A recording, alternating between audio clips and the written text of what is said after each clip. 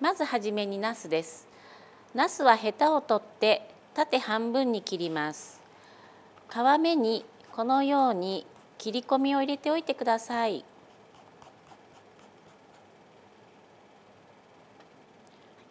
厚揚げはこのように一口大に切っておいてください。フライパンにサラダ油を温めます。ここに厚揚げとナスを加えていきます。ナスを加えるときは少し温度を高くして加えてください。焼いている間にししとうの処理をします。ヘタの部分を少し切り落としたらこのように切り込みを入れておいてください。ここで軽く火が通ってピチピチと音が高くなってきたら裏返していきます。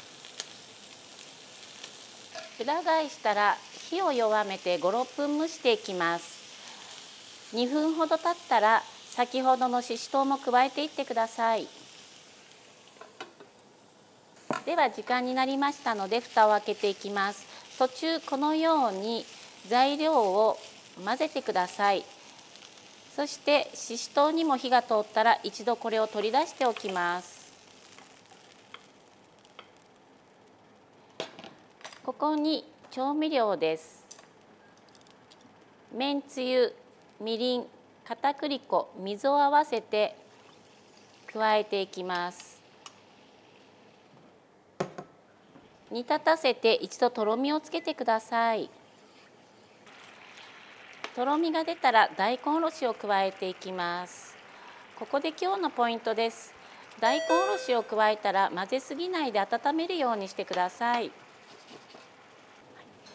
大根おろしが温まったら先ほど取り出した野菜を盛り合わせてここにあんをかけていきます。仕上げにおろし生姜を添えてお好みで七味唐辛子を振ってお召し上がりください。